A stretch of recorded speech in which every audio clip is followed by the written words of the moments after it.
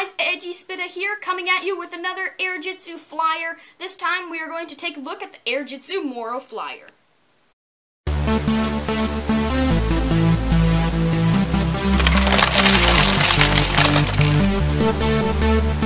In this video, I review the Morro Airjitzu flyer. There's also a link down in the description of this video for Cole, if you guys would like to go check out Cole if you have not already seen that set is number 70743 is the Airjitzu Morro Flyer, recommended ages from 6 to 14, and has 46 pieces. Out here on the front of the box, you can see Morro up here on the top left corner, uh, right under the LEGO Ninjago logo. Looks very nice. I love the effects coming off of them right there in the middle top. Now over here you can see at his flyer in the very nice dark green with Morro inside. Looks very nice as well as his flyer build down there and all of his weapons and minifigure over on the left. All the information is right there that we just covered as well as this very nice picture of Airjitzu Morro. Looks very nice. On the back of the packaging here you can see all the air, other Airjitzu spinners in this line or Airjitzu flyers, I should say. So used to doing um, do, doing stuff on the spinners. Um, forgive me if I say that a couple times in this video. Uh, you can see the Airjitzu, um, I guess you could say, uh, I guess shurikens or something. I'm not really sure. Haven't watched a lot of the videos yet. Uh, you can see Morro here with all of his weapons, as well as how to build his Air Airjitzu flyer and send him off into the air. So, very cool, very excited to open this thing up. So let's go ahead, open it up, do a little bit of a speed build for you guys, and I'll see you guys whenever this is done.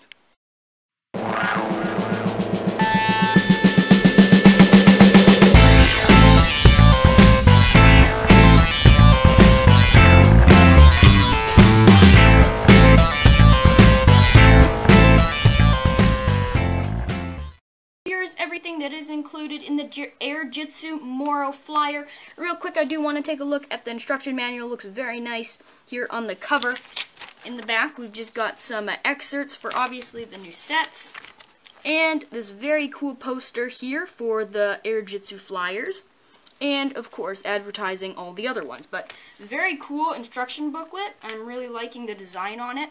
But anyways, Here's everything you get to get in the set. You get the very big Airjitzu flyer piece right here. Morro's is a very nice dark green, looking just like Spitta, so that's pretty cool. We have the cockpit piece in which Morro will go in. We have the actual launcher piece that you stick the ripcord in. And speaking of the ripcord, you have the ripcord. Mine came really bent, so I don't really know if that's good or not. My Cole, whenever I reviewed the Cole Airjitzu flyer, it didn't come as bent, so I don't know. That was always a problem with me with like the Chima Speedor sets and stuff, but anyways, you have the two shurikens here, because Morro did come with some weapons, so he got the shurikens that are still connected here, but I do this in every video that comes with these, that they have some very nice detailing on them, actually some like kinks and stuff in them, so like they look very nice, but if you just want to just pop them off like that, and then you've got your two shurikens. So, now he also comes with a few other things. He's got a transparent uh, yellowish green spider that looks very nice right here. He's got this sort of like a whip, which has a very cool holder piece right here because that's the same piece that we got for the Statue of Liberty collectible minifigure. Looks very nice. It's in that olive green color, so that's always nice to get. We have some of those uh, claws that uh, the werewolf had from Monster Fighters and Wolverine, all that sort of stuff. Got two of them over here, as well as this super ginormous sword staff thingy with like unicorn horns on it, or at least that's what they look like, but they're in a very nice olive green color, so that looks very nice. Obviously intended to be spikes, all that sort of stuff. So it's got this really big samurai sword on it, on a staff with these spikes, so pretty cool. I like that they actually took some time to put a decent staff together, so that looks pretty nice. Now, we also have the Morro minifigure, which I have on the pedestal right here to look at automatically. You can see that he's got the transparent yellow legs that look just like the spider that he comes with. He's got some nice back printing right there, so if you guys want to see that, there you guys go. He's got the nice olive green arms as well as a nice black straight hair. Now, if you take off his black straight hair, you get to his transparent uh, head as well, same color as his pants or legs. You can see that you can actually see all the way through it. You can see where it connects onto the body, which is pretty cool. Um, if I take that off, you can actually see his actual face because he is wearing a ninja mask, or the one that Cole wore. You can see his face right there. Looks very nice. I'm loving this Morro minifigure. It's absolutely amazing.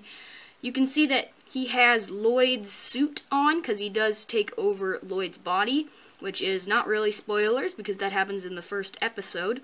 You can see Lloyd's symbol right there, which is kind of turned into a ghost sort of symbol, which looks pretty cool. And once again, the back printing right there. He's mostly dark green, olive green, and a little bit of light green with this very nice um, I guess, transparent yellow color. So that's pretty much the Morro minifigure. Looks very nice. This is a great set if you want to get Morro in, unless you want to get a more expensive set. So I highly recommend if you guys want to get the leader of this series, or the main bad guy, you guys go ahead and pick up this set. But anyways, let's go ahead, show you, got, show you guys Morro in his Airjitzu Flyer to where we were before, I'm going to head and go ahead and put him into his cockpit, which is basically just a protective device so that he does not fall out of the Airjitzu flyer as well as not getting damaged. So I really like this. Now, you're also supposed to have the shurikens on him, but in this instance, he is not going to have any. Uh, go ahead and close up the cockpit on him. And there you go. He's stuck inside. He's not going to come out. If you drop him, it's not going to damage the minifigure or anything because he is hooked inside the cockpit. So that's pretty cool. Then you get your Airjitzu flyer and you're going to go ahead and set him in it so he slides in like so. And then you're just going to twist it so it does another click. And there you go. Now he's locked and loaded into his Airjitzu flyer. And now he's ready to go on the pedestal to launch. So you can see that all you have to do is literally just place them on top of the thing. Um, that's really all you have to do. It's very simple. Now, as for the ripcord, the ripcord just comes in on this side right here. And as you can see, whenever you push it in, he spins, and then whenever you withdraw it out, he goes flying.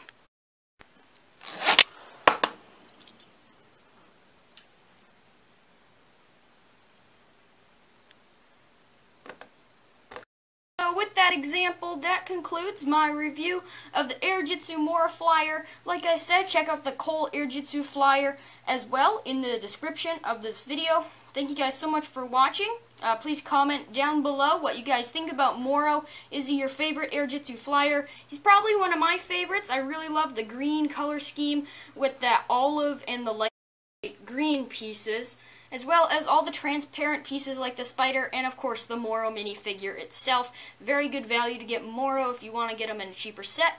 And overall, lots and lots of playability with these Airjitzu flyers. So thank you guys so much for watching. I'm AAG Spitta. Make sure you guys go check out my other LEGO reviews. Subscribe so you never miss a video. Lots more videos, as always, coming soon, guys. So stay tuned for those. See you in the next video.